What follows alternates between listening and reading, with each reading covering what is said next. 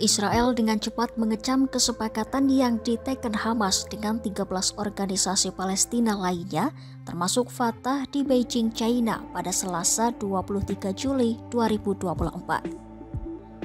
Diketahui kesepakatan itu salah satunya akan membawa Hamas ke dalam pemerintahan rekonsiliasi nasional Palestina untuk Gaza pasca perang.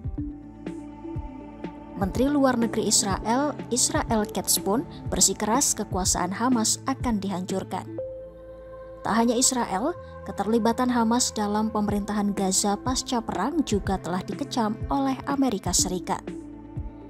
Departemen Luar Negeri Amerika Serikat menolak kesepakatan yang dicapai di Beijing oleh dua faksi Palestina, Hamas dan Fatah, untuk membentuk sebuah pemerintahan bersama.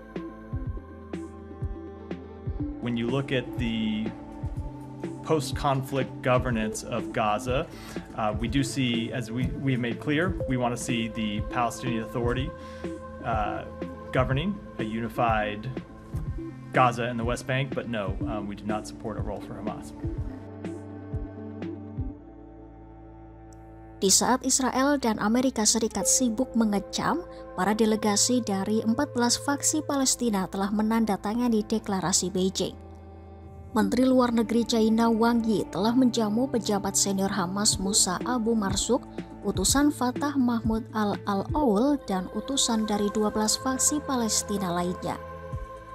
Pertemuan itu mencapai kesepakatan yang menguraikan rencana untuk pemerintahan Persatuan Nasional sementara dengan persetujuan faksi-faksi Palestina yang akan menjalankan otoritas dan kekuasaannya atas semua wilayah Palestina termasuk jalur Gaza, tepi barat, dan Yerusalem Timur yang dicaplok Israel. Adapun Hamas dan Fatah adalah musuh bebuyutan dan pernah berperang singkat namun berdarah pada 2007 ketika Hamas menguasai Gaza.